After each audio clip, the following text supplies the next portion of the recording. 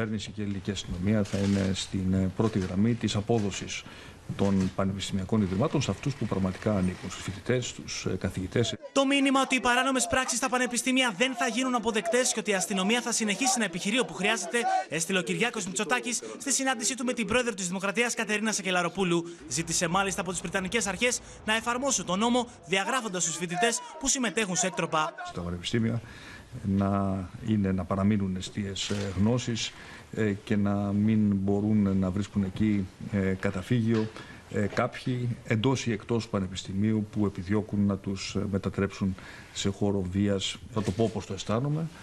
Δεν γίνεται να υπάρχουν φοιτητές οι οποίοι να προβαίνουν σε τέτοιες παράνομες πράξεις κατ' επανάληψη και τα πανεπιστήμια να μην προχωρούν στην προφανή κίνηση που δεν είναι άλλη από τη διαγραφή τους από το Πανεπιστήμιο. Ο πρίτανης του Αριστοτελείου Πανεπιστημίου Χαράλαμπος Φίδας, μιλώντας στην πρωινή εκπομπή του Open Oro Ελλάδος, περιέγραψε καρέ-καρέ την εισβολή ατόμων το περασμένο Σάββατο στη βιβλιοθήκη του Βιολογικού.